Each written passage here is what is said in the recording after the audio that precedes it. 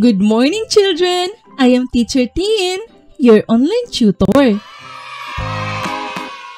Today, we are going to learn about subtraction. Are you excited to learn them, children?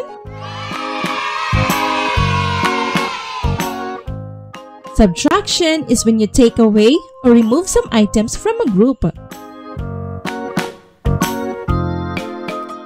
It is just like when you have a plate of cookies and you eat some of them.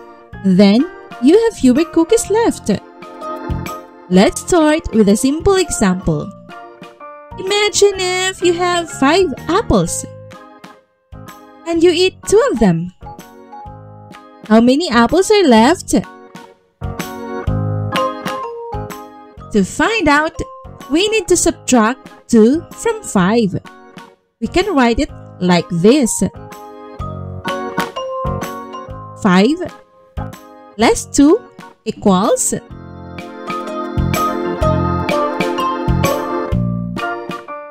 Remember, when we subtract, we always start with the bigger number. So, we start with 5 and take away 2. Like this.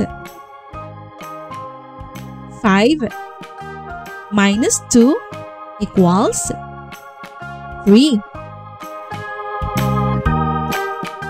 So, we have 3 apples left. Let's try another one.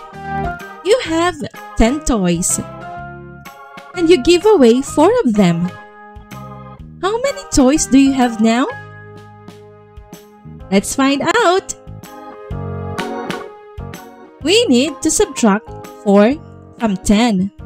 We can write it like this. Again, we start with the bigger number, which is 10. We take away 4 and get 10 take away 4. Now, you have 6 toys left. Done, kids! Subtraction is a fun way to count backwards and see how much we have left. So, next time you eat some cookies or give away some toys, remember to practice your subtraction skills.